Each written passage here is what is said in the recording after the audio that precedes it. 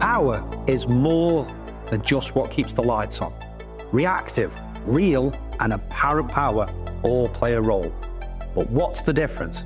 And why does it matter for your symptoms? Stick around and I'll break it down in a way you'll never forget.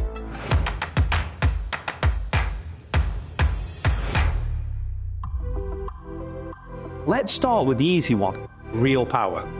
This is the power that actually does the work, like spinning motors, lighting bulbs, heating elements, and it's the power you want to be using.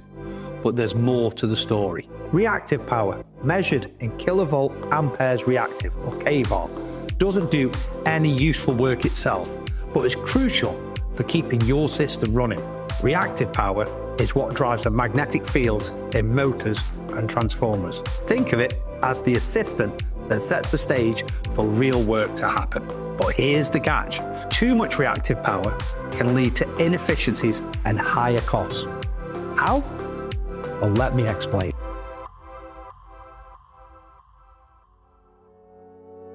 Now, apparent power, measured in kilovolt amperes, kVA, is the combination of real and reactive power. It's the total power your system draws from the grid, whether it's doing useful work or just supporting your equipment. Think of it like a pint of beer.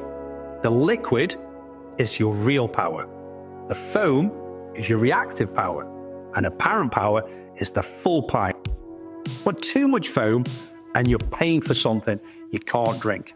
So if your system has too much reactive power, it increases your apparent power.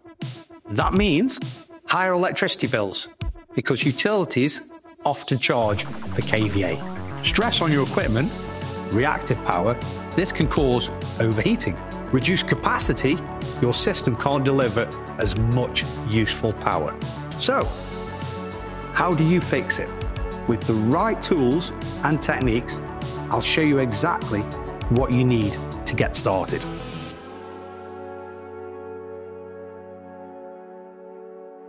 Here's where the Fluke Power Quality Analyzer shines.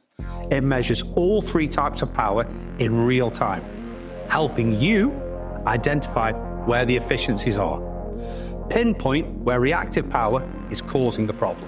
Take action to improve your power factor. With tools like this, you're not just troubleshooting, you're optimizing. This means lower bills, happier clients, and longer lasting equipment.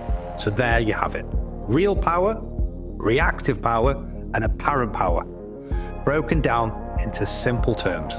By understanding how they work together, you can take control of your system's efficiency, cut costs, and deliver better results for your clients. If you want to see more content like this, hit the like button, subscribe, and check the link below to learn more about power quality analyzers. Don't just work harder, work smarter.